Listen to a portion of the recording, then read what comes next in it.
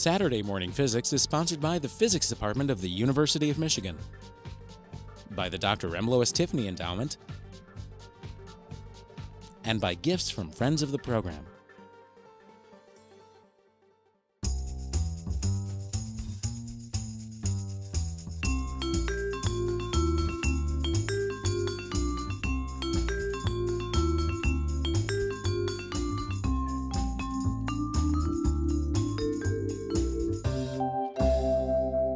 Plan of this talk is uh, uh, utopian. I, I learned from a former dean that utopian is a polite way of saying unrealistic. I probably won't get through all this.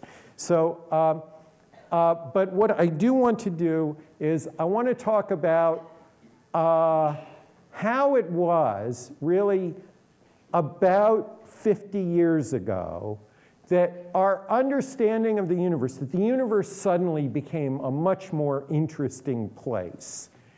And, uh, uh, uh, and, um, in, in, and black holes are part of this story.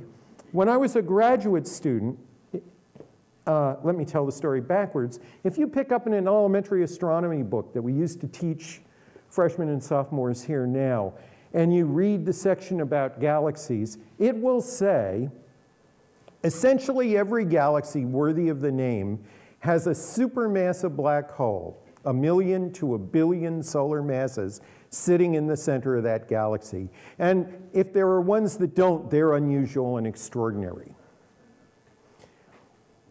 When I took freshman astronomy, a lot of people didn't believe black holes existed at all. And and uh, when I started on my career here at Michigan, uh, uh, probably the most common point of view that black holes were kind of an, supermassive black holes in particular, were kind of an unusual thing that you occasionally got in the centers of galaxies as a result of quasars. And that was an illness. It was something that went wrong. It didn't happen in most galaxies. So, so so black holes are a part of this, this kind of bigger revolution that has occurred in the last 50 years in our understanding of, of the universe. And I'm going to talk a little bit about that. I'm going to talk a lot about how we actually discover that black holes, which after all, most of the time you can't see them, they just sit there pulling on nearby things, uh, how we discover that they're in the centers of galaxies. I'm going to talk a little bit about how we count them up, how we know that there's a black hole in every galaxy.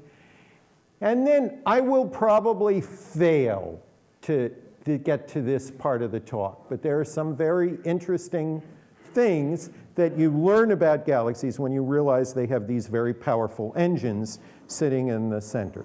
So that's the idea of the talk, and, and as I said, it's a little optimistic. We will, uh, uh, you know, we don't want to keep you here until 2 this afternoon, so, so we won't get through.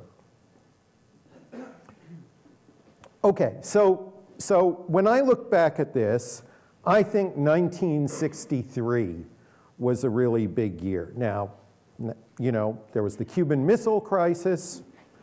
Uh, uh, I turned 14 and started agitating to learn to drive when I was 15. But but, uh, but on a more cosmic scale, there were two really remarkable discoveries, and I've got them represented in this one slide. So the first slide is the Time magazine cover with uh, Maarten Schmidt on it. Maarten Schmidt realized that there were, there were perfectly ordinary looking stars that in fact had very large redshifts. Redshifts are a measure of distances in the cosmos.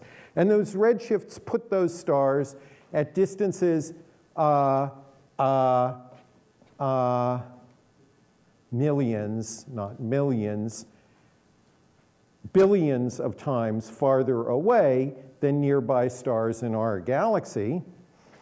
And um, um, that meant, because they looked like stars, that they were incredibly bright. And in fact, analysis of those objects, which came to be known as quasars or quasi-stellar objects, showed that they outshine a galaxy. They can actually emit more energy than the rest of the galaxy that they sit in. And they do it in a volume that's bounded by uh, the orbit of the Earth around the sun. So a scale of about an astronomical unit. So tiny objects that emit tremendous amounts of uh, electromagnetic radiation, of light. The other slide is of uh, Penzias and Wilson on their uh, radio telescope antenna. Um, they're actually standing on it in Holmdel, New Jersey, where they discovered the microwave background radiation, radiation of the universe. This is radiation that uh, uh, comes to us because the early universe was hot. And uh, uh what we see when we look at it is sort of the last scattering surface in the early dense universe. So you can look back and see a map in this radiation of what's a little bit hotter and a little bit cooler on this, this, this surface in the universe when it was about a million years old. Now that's a few million years old. Now that's a long time ago. Uh, uh, we actually now know the age of the universe pretty, pretty precisely. It's, uh, it will be 13.7 billion years old exactly next Tuesday. and, uh, you know, so this is at a small fraction of the present day age. And they, they, because, although the universe was hot back then, the radiation has been cooling as the universe expands. So it's actually quite cool now. It's only three degrees above absolute zero. And it was tough to measure this. So they, they, they they rightfully won a Nobel Prize for their discovery, and Schmidt has received many honors as well. Um, uh, so let me uh, show a couple of pictures. Here is an image of a quasar, which illustrates a number of phenomena about the quasar. You can't see the galaxy. That's because it's a radio picture. But even if you could, the energy emitted by that little thing in the center outshines the galaxy. It also puts out a lot of energy in directed beams. There's a very well collimated beam of energy. The size of this thing is uh, like an astronomical unit, a tiny fraction of a light year. The th size of this thing is uh, about a million light years. So this beam travels out uh, uh over some tremendous range of distance compared to the size of the emitter of the beam, and it illuminates all this gas out here, actually ionizes it. And there's, although we can't see the beam on the other side, there is presumably one because uh, uh, there's another cloud out there. Uh, uh it's a remarkable fact. These are nature's own Star Wars battle stations. They emit tremendous amounts of energy and high energy particles and uh, electromagnetic fields, and they do it in a collimated, and they do a lot of it in a collimated beam. And uh, the only trouble with using it as a weapon is the basic engine down there weighs 10 to the 8 solar masses, so it's kind of hard to turn it and point it. And uh, uh, also, it shoots back at you, so you have to be careful where you stand. But they're remarkable objects. They, they, there's nothing quite like an accreting black hole uh, anywhere nearby. Okay, so this is a picture of the early universe that I promised. This is the universe at a few million years old. And the, the, the color coding reports on regions that are a little warmer and a little cooler than other regions. And these uh, uh, temperature variations are about 10 to the minus 5. They're about one part in 10 to the minus 5. So uh, uh, this map that you see is really very, very accurately at slightly less than 3 degrees Kelvin, but the variations have been emphasized in this picture, and they're really very tiny little ripples. One part in 10 to the 5 is the scale of the thickness of a piece of paper at the bottom of a lake that is 100 feet deep. So if you think about measuring variation, sitting in a rowboat you know, while the lake is sort of bobbing up and down, because there are all these local effects. The galaxy has been taken out of this. So the lake is sort of gently bobbing up and down, and you're sitting in a rowboat and trying to measure variations in the, in the level of the bottom of the lake that's 100 feet below you, and you're trying to measure those variations on the scale of a thickness of a piece of paper. This is a remarkable uh, and impressive job by the people that did this experiment. So that tells us what the universe looks like because those temperature fluctuations correspond to density fluctuations in the real mass. And the trick is understanding how these really little, this very smooth, very uniform universe got from there, uh, you know, when the universe was about uh, a, a few million years old, to there where the universe is now. This is actually a simulation of where the universe is now. It's uh, uh, Gus Evrard, Professor Evrard in the physics department, participated in the group that did this simulation. And this shows the structure of the matter in the universe at the present day. And it, it's not at good enough scales to include individual stars or planets or people, but uh, it does emphasize the growth, growth of structure on galaxy scales. And so somehow we got from this very uh, uh, smooth, uniform universe to one that's very lumpy now. Just to compare this slide, this is theory. So this is art imitating life. Here's what the local universe really looks like. Actually, this is what the local universe would look like to you if you had eyes that were sensitive in the near infrared, about a two microns, and if you were at a very dark site, and if you could see the entire sky, and if you had a crude color coding of how far away the galaxies that you could see are. And if you could do all that, this is what the universe would look. You'd see the galaxy sitting here in the foreground, actually looking like a galaxy. This is the Milky Way that you see in the night sky. The center of it is down there in Sagittarius. It's a little easier to tell if you go to South America. Uh, uh, and, and the Milky Way stretches out across the sky, and you can see the galaxies that are nearby. This is reaching out to about half a billion, uh, half a billion parsecs. And uh, you can see that sort of filamentary structure that the previous slide uh, had beautifully in that simulation. So, you know, it's art imitating life. The, uh, uh you know, the struggling artists are approaching uh, the real work. So, what's the connection between the growth of structure in the universe and the growth of, and the, and the discovery of quasars.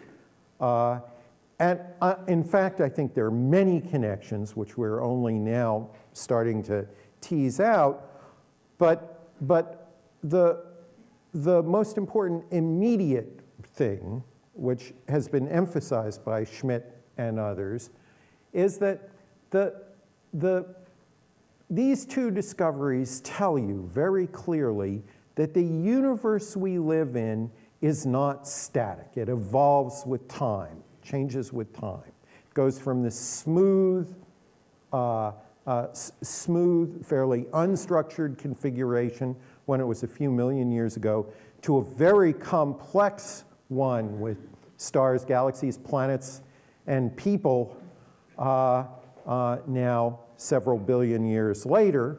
And similarly, the quasars evolve. Most of the quasars that we can actually observe as quasars, the bright quasars, are in fact uh, objects that only exist when the universe was younger. They exist several billion years ago, uh, and they've largely died out by now. With about one exception, all of the quasars that are around here that are alive currently, that are shining currently are uh, rather wimpy, low luminosity objects. So both of these discoveries, the, the, the most basic takeaway from both of these discoveries is that the universe evolves. And this was actually slightly controversial in 1963 because there was a theory which was quite popular, especially among theorists, called the solid state theory of the universe, which, which uh, dismissed the possibility of a hot, young, early universe, a beginning. In fact, the term Big Bang was originally a term of derision applied to the hot, dense early universe by the solid state, uh, sorry, the steady state uh, uh, modelers.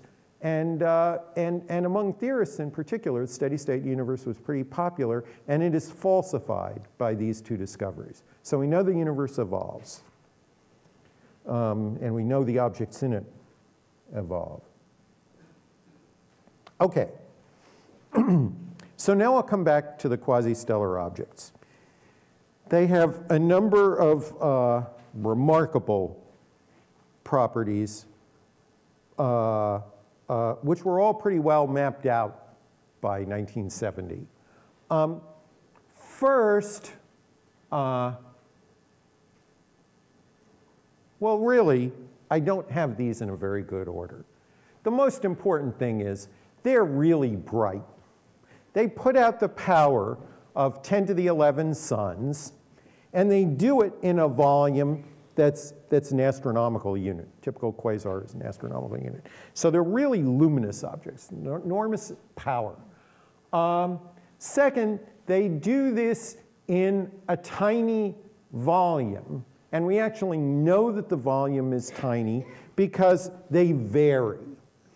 So if you have an object that's some size and it gets brighter, if it's a small object like this, it gets brighter all at once. But if the depth of this object is, say, a light year, and it gets bright, you would see the front end of it get bright before you see the back end of it get bright, because the light from the back takes an extra year to get to you. So the fact that we see quasi-stellar objects, especially in the X-rays, that can change their brightness by a factor of two in minutes tells us that the place where most of the energy is coming out isn't much bigger than a few light minutes. Now, it takes eight minutes for light to come to us from the sun, so that's where we get the AU. They vary on a scale of minutes, and uh, uh, so they can't be, or the energy generation can't occur. There can be additional phenomena further out, but the core of what's exciting has to come from a volume that's on the order of the radius of the Earth's orbit around the sun. Now, the second thing is they uh, dump out a fair fraction of their power, in some cases, in these very well collimated beams of radiation and charged particles. It's a remarkable effect, still not very well understood. Uh, there are blobs in a number of cases that appear down near the central engine in these beams and travel out along these beams at what appears to be more than the speed of light. Now, that's quite extraordinary. And uh, in fact, it's an optical illusion. They're traveling sort of obliquely along the beams, and uh, uh, they're probably shocks, shock fronts traveling out along, the, along these beams, and they're moving at close to the speed of light. And so the light waves that inform you where the shock front is only get out in front of them a little bit. And so when you finally get those waves, uh, it appears that they have moved out sideways at several times, in some cases 20 times the speed of light, but in fact, they're just moving along uh, toward you at an advantageous angle, and the separation uh, speed is not really that great. Nonetheless, in order for that to work, these shock fronts have to be propagating along at very close to the speed of light. Otherwise, this, this effect isn't very important at all. And so um, uh, it's an optical illusion that they're superluminal, that they're really moving faster than the speed of light, but they are really moving fast. So you've got, you've got a gadget at the center of this thing. Let's see, I'm getting ahead of myself.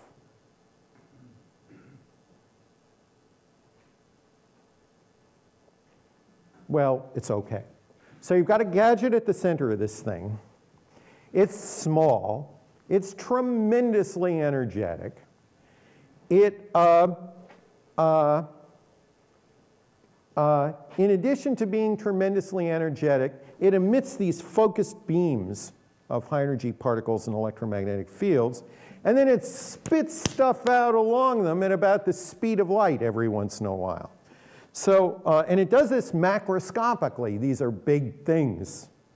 They, uh, uh, in order to sustain a luminosity of 10 to the 11 suns over a time of millions of years, and you remember I said that that uh, double-lobed radio source that I showed you a few slides back had beams and disturbed regions that were a million light years out away from it.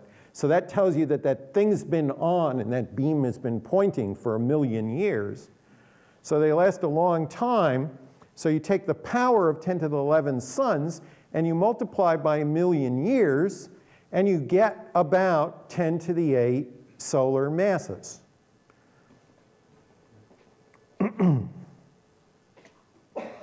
So then you take that 10 to the 8 solar masses and you stuff it into a volume that's an astronomical unit across. That's the radius of the Earth's orbit across.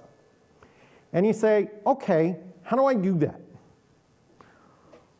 Well, remember this was all sort of being figured out in 1970. And the only energy source astronomers really understood in 1970 was thermonuclear power, the way the sun makes energy. Now, Thermonuclear power, uh, you burn hydrogen to helium, or you can burn helium to carbon and do other things, and you basically get not quite 1% of mc squared out of every ton of material that you convert from hydrogen to helium to carbon and so forth. So you can get about 1% of mc squared. So the calculation that you can, you can do is you can take 10 to the 8 solar masses, put it into a, put it into a volume of uh, uh, 10 to the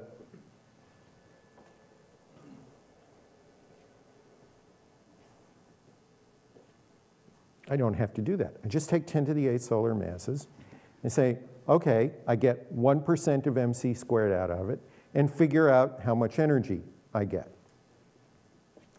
Then I can ask the question, okay, suppose I take 10 to the 8 solar masses and I stuff it into a volume of uh, one astronomical unit. It has a gravitational energy. It gets gravitational energy by compressing itself to that side. Gets gravitational energy in the same way my keys acquire energy when I drop them, right? So this is my first demonstration.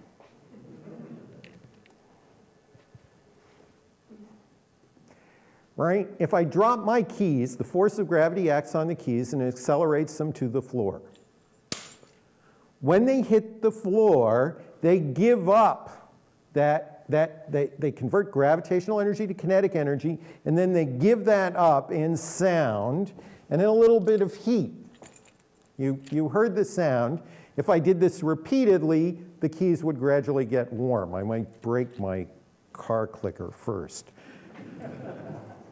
If I dropped this, this set of keys onto the surface of a neutron star from a large height, the same thing would happen. They would accelerate to, under the force of gravity, and when they hit the surface of the neutron star, they'd give up that energy.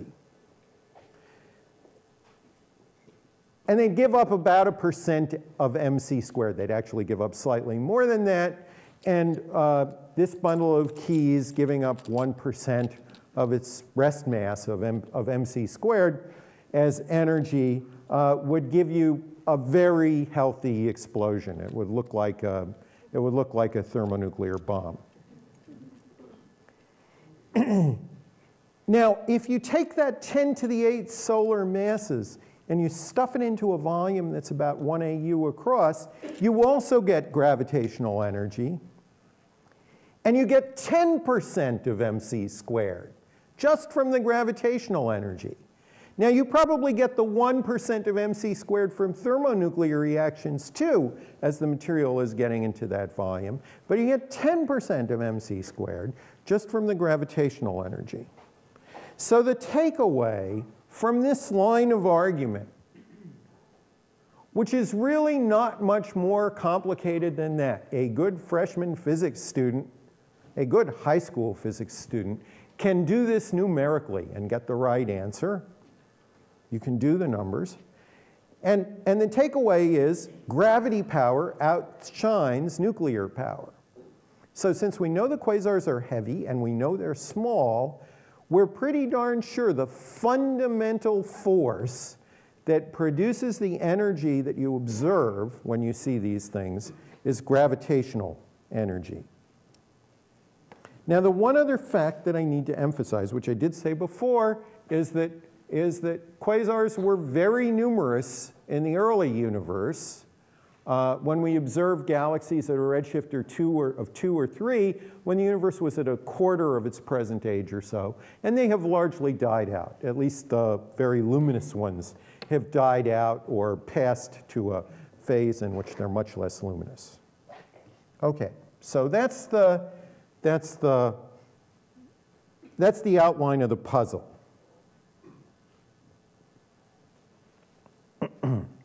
Now, there are lots of reasons why it's reasonable to believe that quasars are black holes. So I'm really just summarizing the things I've just said. They, they're small, they're bright, and they sit there for a while. So that suggests that they're gravity powered. Okay. So why am I going, oh, I'm going backwards. I'm hitting the wrong key.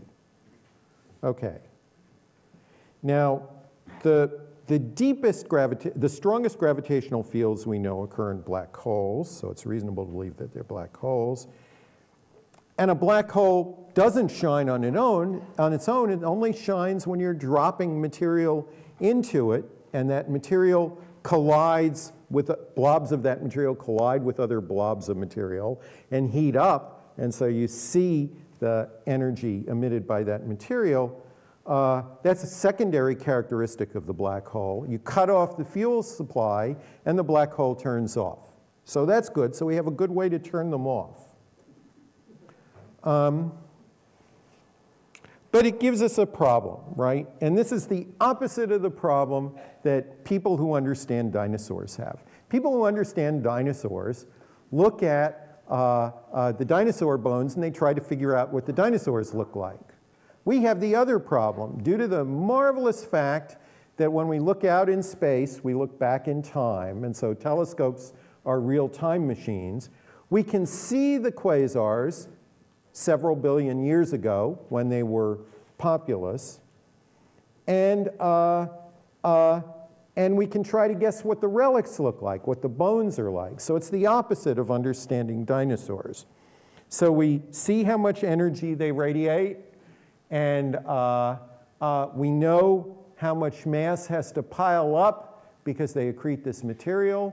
And we know how many densities, how many quasars there are in the universe. So we know the relics have to have about 2 times 10 to the fifth solar masses per cubic megaparsec. That's about, that corresponds to about a million solar masses per reasonably good sized galaxy in the universe at present, and it's got to be what's left over. So we got to look for these things. Okay. So now they're not shining anymore. How do you look for things that you don't see? And Mr. Kepler sort of provides the answer because just in the same way that I could measure the mass of the Earth by dropping my keys, I could measure the mass of a black hole by watching stars go around it. And the thrust of this then is uh, uh, how do we play that game? How do we look at stars near, near the centers of galaxies and uh, uh, infer the mass of the black hole that you can't see in the middle of the galaxy. So let me see. I just want to check and make sure.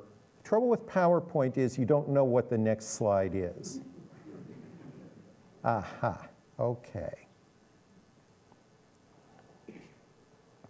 So the first thing that I want to do is I want to persuade you that there really is a force of gravity.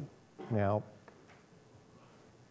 you know, you, you always believe that there's a force of gravity, but we're going to try to do this ambitious experiment where uh, uh, we have got a device over here. So here's the device. And uh, this is the top view of the device. The device has a mirror suspended from a very thin wire, and the mirror has two small weights attached to it that stick out sideways. This is the top view. And then there are two large weights that weigh, I think, a couple of kilograms each that sit over here. And at the moment, these two large weights are oriented perpendicular to the, to the balance beam, essentially. So there's, they're exerting no force. But what I'm going to do is I'm going to move the two large weights close to the two little weights and let them pull on it for a while. We'll see that mirror twist to try to follow the large weights. So, so the rest of the experiment is there's a laser beam that shines on that mirror that is reflected on the wall there on that green spot which is marked by the piece of tape. I want to pull on this weight this way, and I want to pull on this weight this way. So let's see. This pulls on this weight on those, those, those big kilograms weights that are pulling on that. The force they exert on the little weights, the, the force they exert on the little weights is about 10 to the minus 12, the strength of the force that would make those kilogram weights fall toward the center of the earth if we dropped one of them. So, uh, so it'll take a while for something to happen. But I hope that spot's going to go to move to the right. And that'll show you that there really is a force of gravity. So there are two things that are important. One is the force of gravity, and the other is conservation of angular momentum.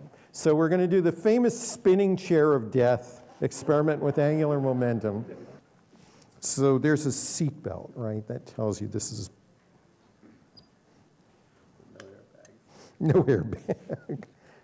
Okay, so part of the deal was making sure I was strong enough to hold these weights out. Ready? Okay.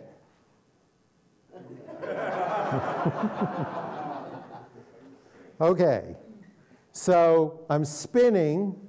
There are no forces acting on me. Actually, I'm being pushed up to cancel the force of gravity. But I'm going to pull these weights in.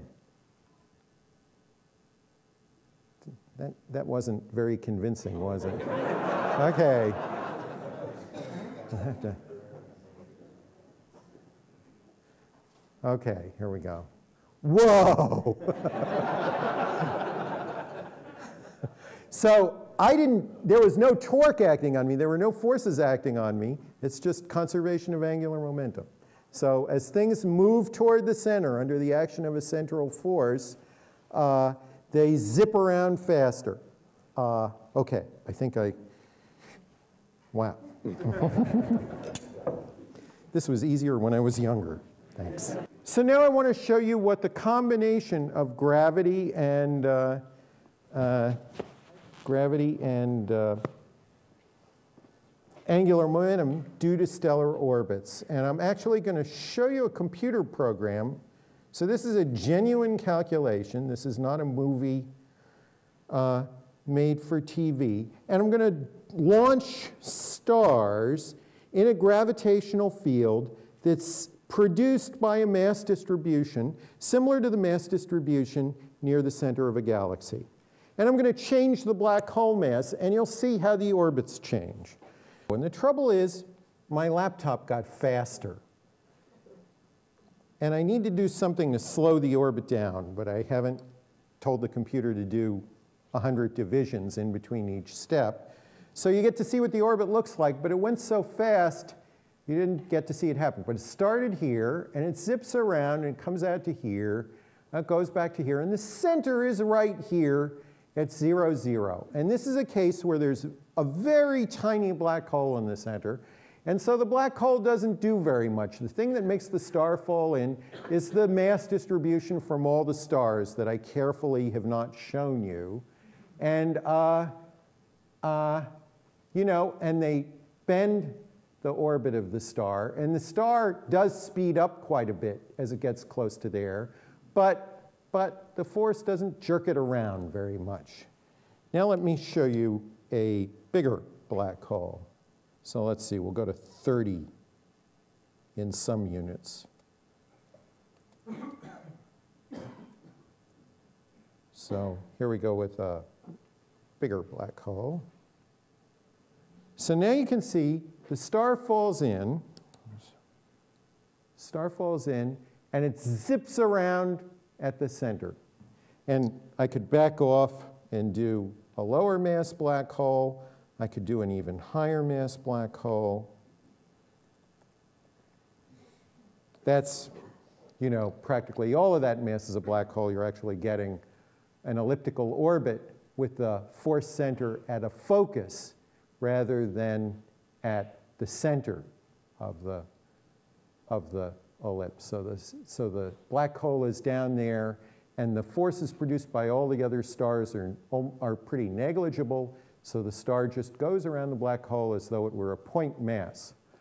Uh, uh, now I'm going to show you orbits of stars for real in the center of our galaxy. So these are, are positions of stars constructed from successive images of the center of the galaxy taken over several, uh, over several years' time. So there we are. So I'm going to launch the movie, and you'll get to see the star moves, stars move, and I want you to pay attention to uh, number 16 over there in particular. They're all kind of fun, but watch number six. I think it's number 16. I may have forgotten that. So here we go. And the stars are moving in the center of the galaxy under the influence of all the other stars that aren't plotted because they're fainter, and something that is not seen at all there. There we go. Okay, so did you see that? Did you see that one? It was that one. It was SO16. And it went down there toward the center and then jerked all the way around and came back out. So let me let me try that again. There we go. Bang. Okay, so something down in there took that star, grabbed it, swung it around, and sent it back out the way it came in. And I think the calculations I did should have persuaded you that the only way I know how to do that, at least, is with a, uh, uh, a force center that corresponds to a very massive black hole. In that case, you can get the mass of the black hole from the orbits of the stars, and it's about 4 million solar masses. And you don't see anything down there. You don't see any luminosity source. It's just sitting there quietly, uh, not doing very much. Okay, so now I think I can go back to the slideshow.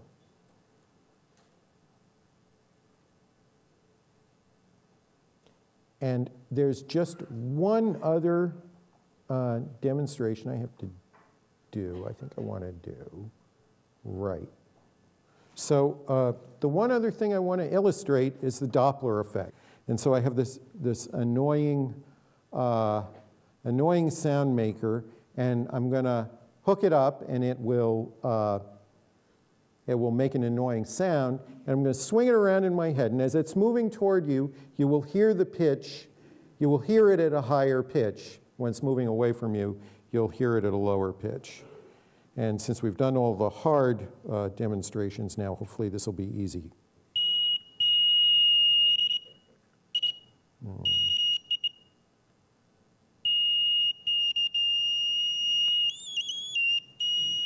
Okay. Everybody hear it? Goes up and down? Okay. Okay. All the demonstrations have worked. This is fabulous. and the movie worked. So that's great. Okay. So we got to look for these dead quasars. Now, uh, uh, everybody thought they knew where to look anyway because you had to you have to assemble a lot of mass. You have to assemble uh, to make a bright quasar. You have to assemble uh, 10 to the 8 solar masses, 100 million solar masses of stuff.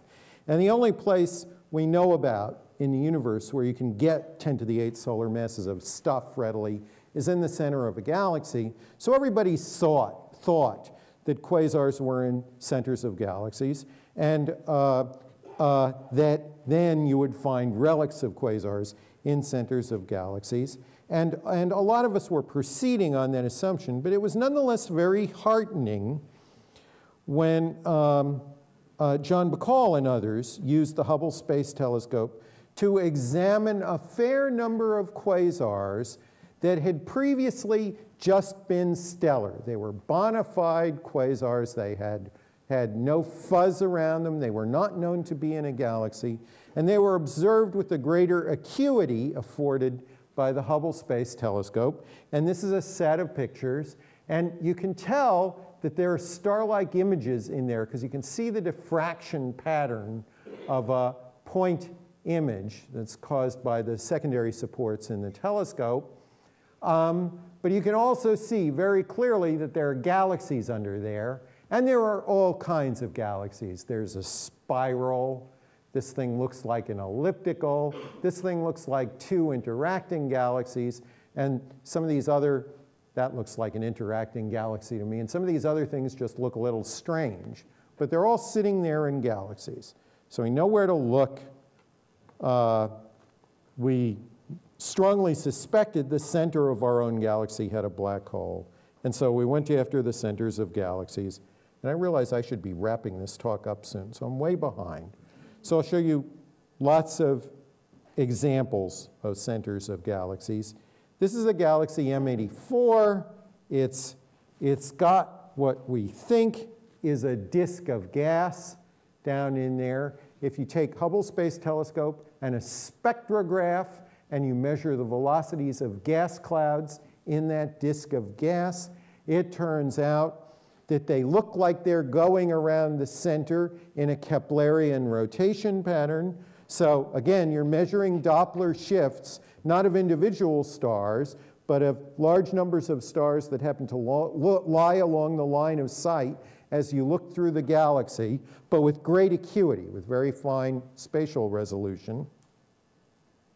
And you see this rotational pattern that looks like there's a point mass in the center. It actually looks like there's a point mass of a couple times 10 to the 9 solar masses, so a couple of billion solar masses sitting at the center of that gas disk. We've also done this with galaxies that don't have gas in them. These are perfectly ordinary galaxies that don't have much gas. This one has a ring at large radius, but it has nothing going on at the center. Uh, uh, this galaxy has an illness. It looks like it has a double nucleus that, that uh, really caused us some difficulty, but, but there were lots of others to work on. And we observe the spectra of the light from the centers of the galaxies. So we see, uh, uh, let's see, this is, you can tell this is the spectrum of a galaxy because it's got noise in it. And we choose to work in the near infrared on the so-called calcium triplet because in a comparison star, that's a star in our own galaxy, you get these nice three sharp lines. And the difference between what the galaxy spectrum looks like and what the spectrum of an individual star looks like is the sum of the Doppler shifted spectra of all those stars along the line of sight. So the shape of this line, of those lines, combined with the shapes of those lines, tells me what the distribution of stellar velocities along the line of sight at that place in the galaxy, near the middle of that galaxy is. And in the best astronomical tradition, this is typical average quality data. Actually, this is, that means it's among the best data that we got. Uh, and it's not as simple as stars going around in circular orbits. I'm looking at stars that are doing all those crazy things that you saw the stars in the movie doing. Uh, that's what the data looks like when you, when you try to extract average velocities and average uh, root mean square velocities from those data. And you can see there that in this particular galaxy, it's the stars are going around the center in a rotational pattern very quickly. On this side, they're coming toward you. On this side, they're going away. Actually, I think I've got that backwards. And in the middle, they're going every which way very fast. So we have to convert that, though. We don't see the individual orbits. We have to convert that. We do a lot of computing. Uh, uh, we make a guess at a mass distribution for the galaxy. We compute the gravitational forces. We compute every bound orbit in that gravitational field. That's why it's nice that my computer's fast. Uh, and then we sum the orbits to get the right light distribution and to get the right velocity distribution. And if it doesn't work, we say, this isn't a good model. So we wind up, well, that's what a bunch of orbits looks like. I'll skip over that. They're a lot of fun, though. Uh, uh, this is a measure of how good the model fits the data. So it's sort of a chi-squared statistic. You want it to be small. That's the, what we decided was consistent with our errors.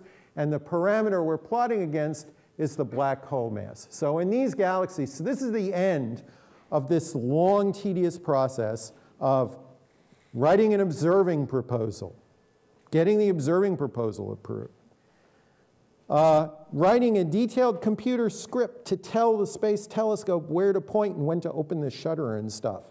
This is actually like doing your income tax about three times.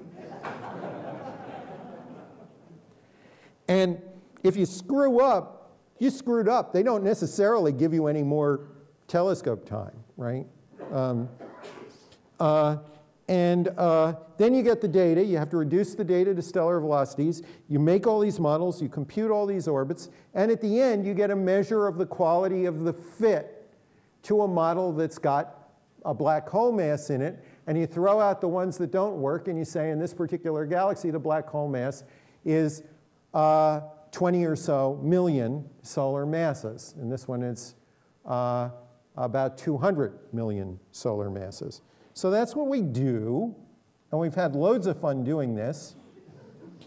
And um, our work and, and some competitors have shown that basically if you pick out galaxies with bulges, you have a 97% success rate of finding a black hole there. So there's usually a big mass, a big massive black hole. And furthermore, you can guess in advance how big the black hole is if you know either the luminosity of the bulge of the galaxy, or if you know the RMS velocities of the stars in the bulge, which we think works because it's a surrogate for the binding energy of the bulge of the galaxy. And that tells you how much mass is there, and it also tells you how deep the gravitational field is.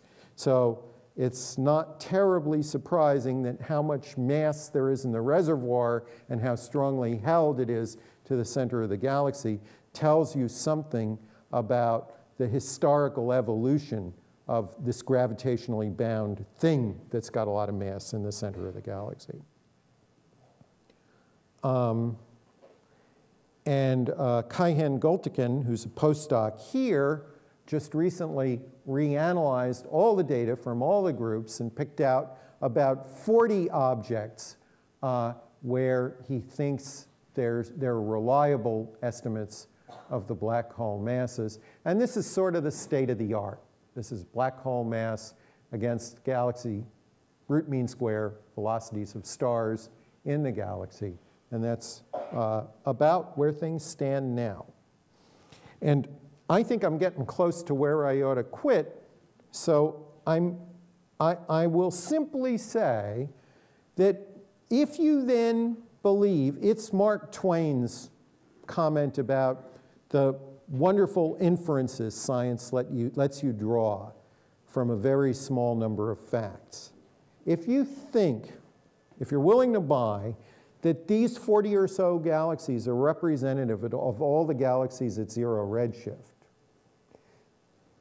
then I can compute the mass density of in black holes at zero redshift in the universe now, and the number done two different ways uh, by people who should have talked to each other, but, but since we've only been writing papers together for about 40 years, but didn't until after we, by sheer good luck, until after we had the numbers, got the same result. These numbers, this is the mass per cubic, mega, per cubic megaparsec in black holes figured out from what we know about galaxies. And these numbers look different, but this has got a rubber unit for the Hubble constant in it, and the best number for this is 0.7 which they just put in, but if you multiply this by 0.7 squared, you get something really close to this. So these are consistent results from slightly different data sets, same black holes, but different galaxies, and slightly different approaches to the galaxy. And these two numbers are very consistent with that mass density that you expect from the luminosity of quasars in the early universe. So again, the takeaway, the, the second take, the first takeaway is, roughly speaking, all galaxies have big black holes in them. The second part is the masses of those black holes and the mass density of those black holes in the redshift zero universe, that is now, is just what you'd expect from the quasars. So, so it's reasonable to say that we found the bones of the dead quasars. So that's kind of cool. Now the question is, how do we get that way? And uh, uh, I'm out of time, so I hope Marta is going to tell you about that next Saturday, because I'm going to skip all this stuff. But I do want to close with what I think is one part of the story.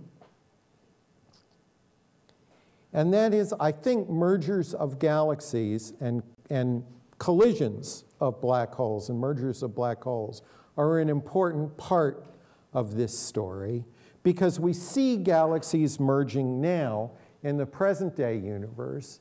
And essentially, all the calculations of galaxy formation suggest that mergers were more populous, were more frequent in the early universe. Mergers of quasars can be directly observed by, uh, uh, by gravitational waves.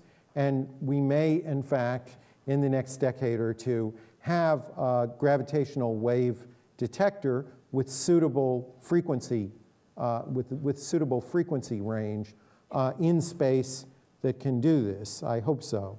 Um, but I did want to show you one more movie which illustrates uh, a theoretical simulation of uh, the merger of two galaxies like this merger in which the two galaxies each have a black hole in their center that can accrete gas and light up.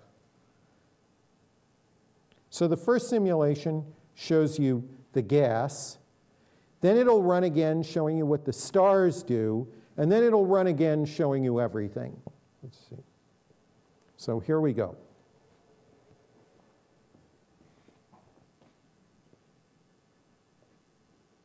This simulation was done on a, on a very large Beowulf cluster by Lars Hernquist and his collaborators at Harvard using a uh, SPH, a, uh, a smooth particle hydrodynamic code that also does dark matter and stars that was written by Volker Springel at the Max Planck Institute in Munich.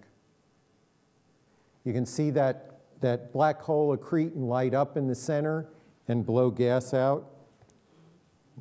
Have to point the laser in the right direction. So all the gas got blown out.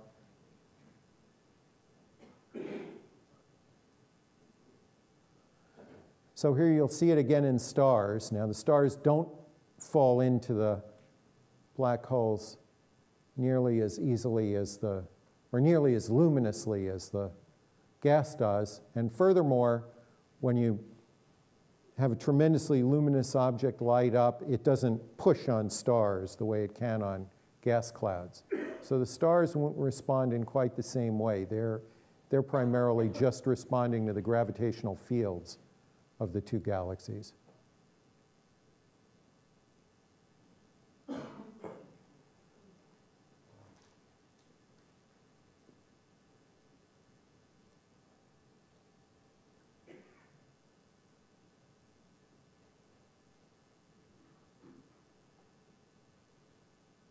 And now you can see everything else at once. We've got gas from the top down and from a nice picturesque view over here, and you've got uh, the stars from the same two views over here.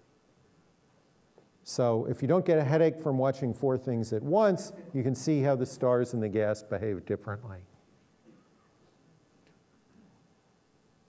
But at this point, you can see that the quasar starting to light up and blow the gas out of the systems.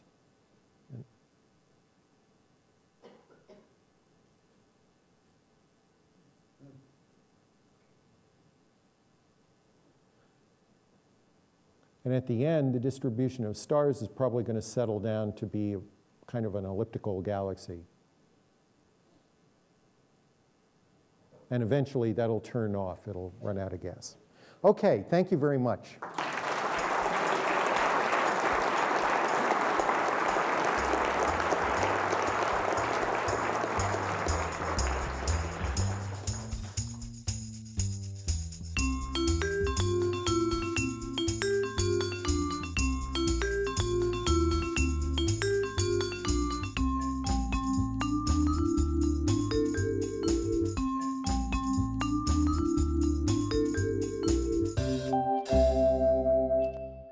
Saturday Morning Physics is sponsored by the Physics Department of the University of Michigan, by the Dr. M. Lois Tiffany Endowment, and by gifts from friends of the program.